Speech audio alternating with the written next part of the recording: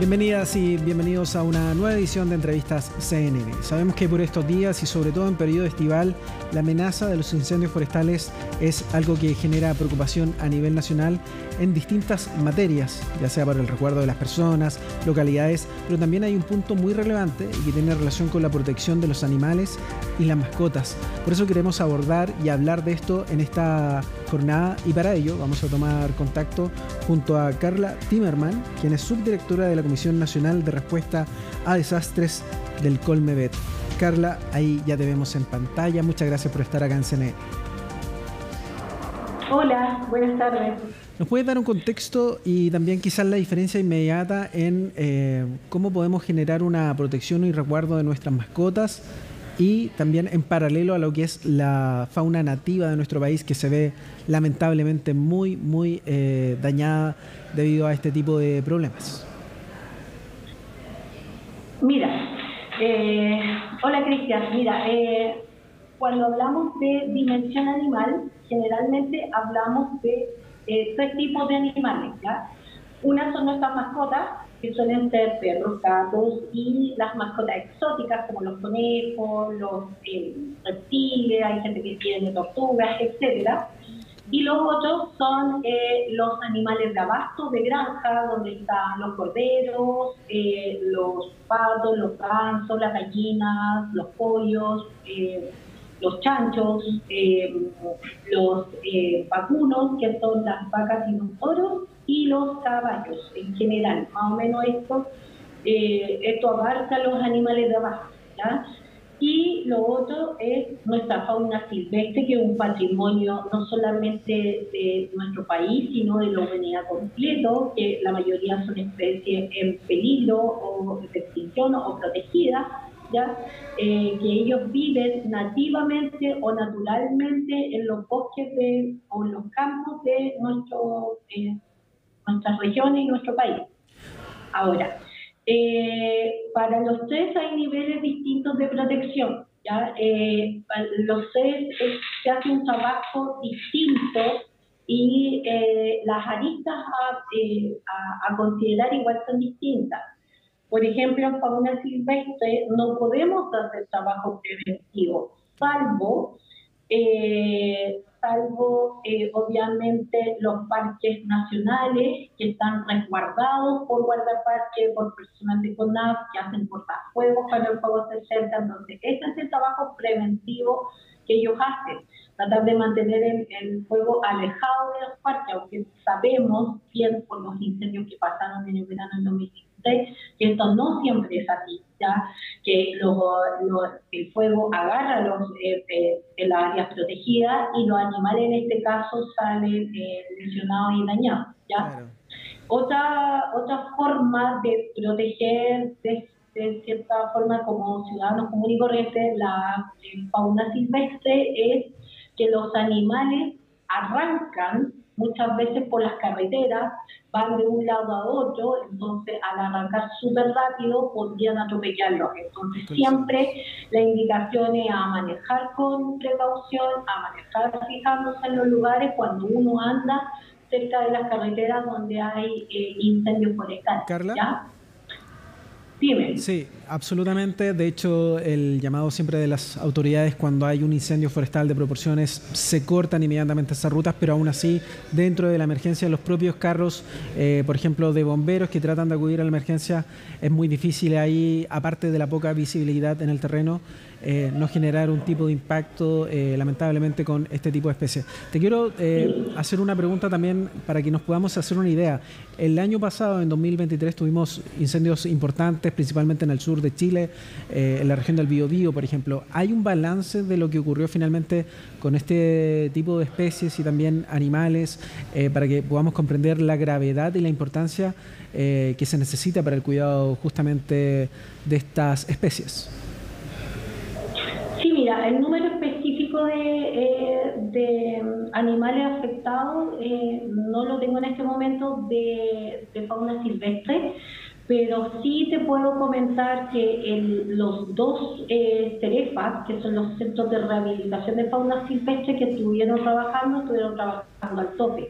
Yo el año pasado era coordinadora de la Comisión Regional de Biobío y trabajé eh, en terreno y pude eh, constatar eh, con mis propios ojos cómo se rescataban purú, cómo se rescataban, em, em, creo que caracales, si no me equivoco, estuvieron en el Centro de Fauna Silvestre de, de Chillán porque el Fauna Silvestre fue que recibió más animales y en general eh, venían los animales no solamente de Ñuble, porque el centro está en Ñuble, venían los de Biobío, venían los de novena, venían los de séptima, y hay otro que está en la octava, que es tiene una capacidad pequeñita, pero que también recibió animales. Entonces, la cantidad de fauna silvestre afectada fue muy, muy grande, porque la cantidad de hectáreas quemadas fue muy grande en las tres principales regiones que se quemaron, cuatro, porque también hubieron en la séptima, ¿ya? Pero las más afectadas, por ejemplo, te puedo dar números de animales eh, domésticos y, de abasto, ¿ya? domésticos son los, las mascotas, y abasto, se atendieron el año pasado más de 5.000 animales. Y en solo la región del Biobío se atendieron 2.000 animales quemados. Sí, es muy Entonces, es una cantidad bastante elevada. Ahora, con respecto a la prevención, lo que podemos hacer las personas eh, en general es una, primero que todo, nunca visitar lugares que se están quemando. Eso es como una lógica. E igual que cuando hay marea y llaman a no ir a acercarse al mar, es lo mismo. Jamás acercarse a lugares que se están quemando, no exponer a nuestros animales a esto. Y si yo vivo en algún lugar que está teniendo algún incendio forestal, hay un área, hay un tiempo de preparación previo que la gente ya lo sabe y ya lo tiene internalizado, porque la gente donde se quema, todos los años se quema ahí mismo generalmente. Mm. Entonces las personas empiezan a hacer portafuegos, esto es, a hacer zanjas y a limpiar de maleza en más o menos 6 metros desde, desde un área que podría incendiarse, ¿ya? Y a resguardar sus animales, a tener comida guardada y agua guardada. Generalmente las vacas y los caballos se sueltan y las ovejas no, no se sueltan, ya son animales que si tú los sueltas se dispersan y la pérdida podría ser mucho peor. Lo otro es saber que si yo tengo alerta roja cerca de mi casa o cerca de mi población y mis vecinos, por ejemplo, están evacuando, los que viven cerca, no los que están al lado, porque si no, yo estoy siendo evacuada también, eh, tratar de sacar los animales de ahí en camiones ya, y poder reubicarlos en lugares donde eh, puedan estar protegidos de, de los incendios. Claro, Carla. Referente a las mascotas, tratar de tenerlas todas resguardadas dentro de casa y en el momento que haya la evacuación tratar de irse con su mascota. Si yo no me puedo ir con mi mascota, tengo que avisar al personal de CONAF, al personal municipal de emergencia, que son generalmente los que están involucrados y los que están guiando las evacuaciones. Tengo que tratar de avisar que quedaron mascotas ahí para que la municipalidad pueda tomar resguardo de qué hacer con esas mascotas. Nosotros estamos trabajando con los médicos veterinarios municipales, eh, estamos trabajando con las áreas de emergencia municipal, trabajamos junto a Senapred, por lo tanto, eh, las mascotas nunca van a quedar tan a la deriva, pero lo importante es que la gente nos diga a nosotros, o sea, diga a las autoridades, ¿sabes qué? Dejé mi mascota en casa, pero no tengo dónde llevármela. Entonces, para ver alguna posibilidad de poder reubicarla o llevarla a un lugar seguro para que obviamente no salga afectada. Eso es muy importante. Y con los perros hay que tener porque cuando los incendios empiezan cerca, los perros se asustan, salen corriendo y se queman sus patitas por las grasas. Entonces hay que tener especial cuidado. Y los gatos, por otra parte, a los gatos les gusta el fuego, los gatos se van a acercar al fuego. Entonces la idea es siempre mantener los animales resguardados dentro de casa si hay un incendio cercano. Completísima información, Carla. Se nota que hay muchas aristas en las cuales tratar este tema porque, claro, no solamente es un tema de contención, sino que podemos tener esta instancia previa que es la prevención. Allí leía, por ejemplo, es clave el lugar, eh, la limpieza de las zonas rurales donde se acumulen escombros o basura para la proliferación de incendios forestales. También un punto que me llamaba la atención es la familia preparada básicamente la gente que tiene mascotas, donde, por ejemplo, si yo tengo un perro eh, tengo que contar con un collar y un microchip, también con un kit de emergencias que incluyan un botiquín de primer auxilio.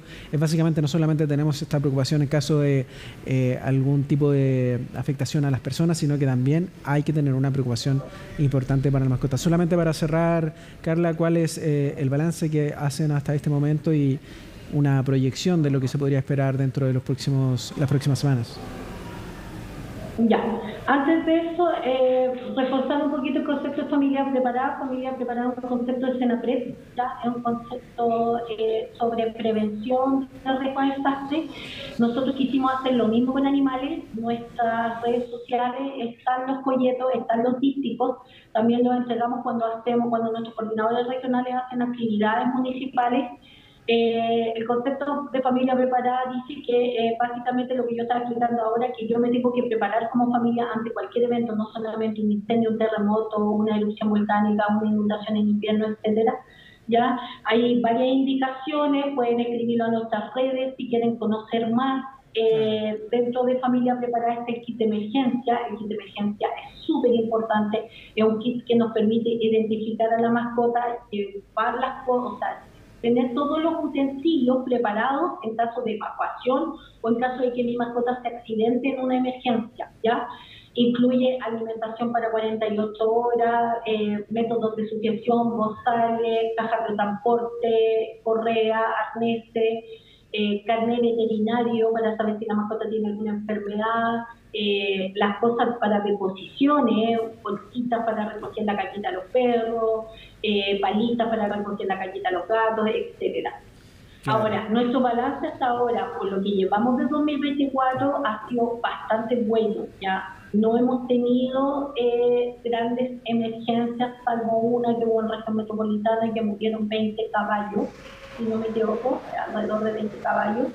Eh, que fue hace como unos dos o tres días atrás, pero asociados a incendios forestales y a todas estas alarmas que se han dado en Araucanía, en Biobío, en Ñuble, en la región de Maule, en O'Higgins y en Valparaíso, no hemos tenido afección de animales, ni mascotas, ni animales de pasto, ni desde hasta el momento. Todos nos estamos preparando. Eh, la verdad es que esperamos que no sea tan fuerte como el año pasado, pero las condiciones climáticas nos dicen que hay mucho más calor y viento que el año pasado. Mm. Por lo tanto, eh, podría en algún momento eh, esto eh, desbaratarse, como pasó el año pasado en febrero, y tener más o menos mm. eh, la misma cantidad de hectáreas afectadas pero esperamos que la cantidad de animales sea mucho menor porque esperamos que la prevención esta vez sea mayor. Absolutamente, y por eso queremos poner este tema en la palestra para tener conciencia sobre este importante asunto en torno a este grave problema que son los incendios forestales. Carla Timerman, muchas gracias por haber estado en CNE. Muchas gracias a ti, gracias por el espacio también. De esta forma estamos cerrando nuestra edición del día de hoy de Entrevistación N. Usted siga la compañía de nuestro canal y por supuesto nos vamos a volver a encontrar en una próxima edición de este programa. Que esté muy bien.